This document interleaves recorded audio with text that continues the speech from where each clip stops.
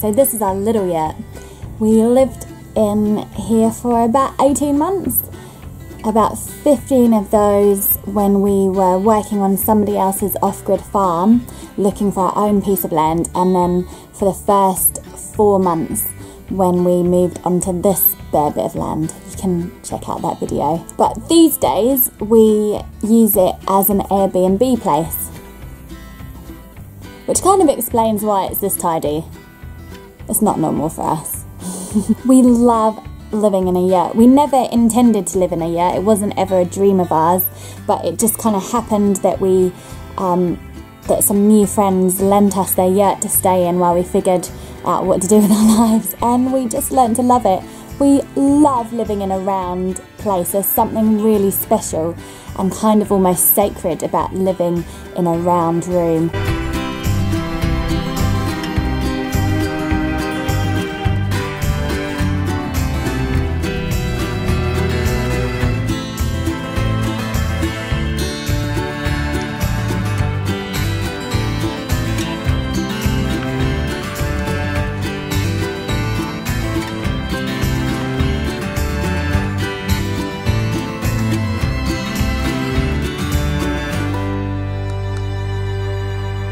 And we love the way that it kind of forces us to be slightly more minimalist.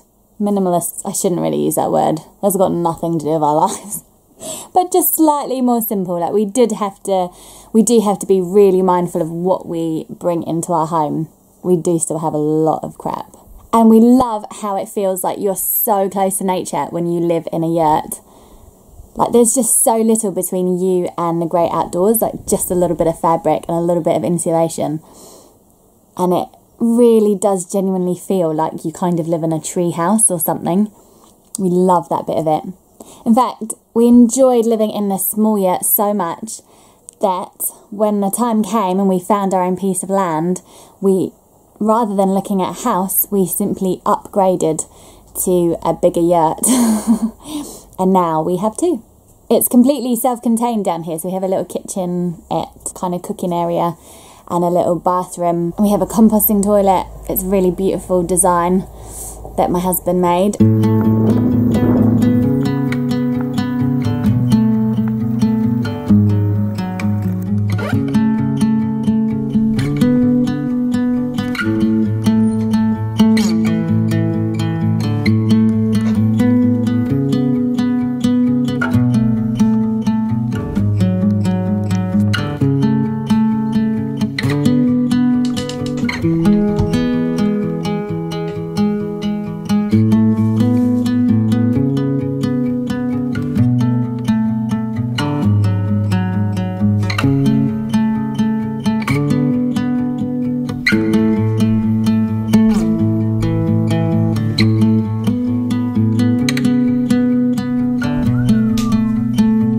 Have a couple of tiny little solar panels which um, power the lights with a remote control and which you can kind of charge your phones off and that kind of thing.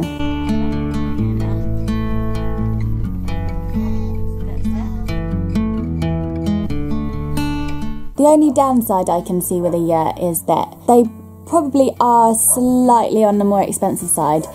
However, I'm pretty convinced that they'll last you forever and you can just keep taking them down and putting them up wherever you go. So they're good for people with a nomadic spirit. Hope you enjoyed our little yurt tour. Don't forget to subscribe, comment and like this video because every little bit counts. Thank you for supporting my channel.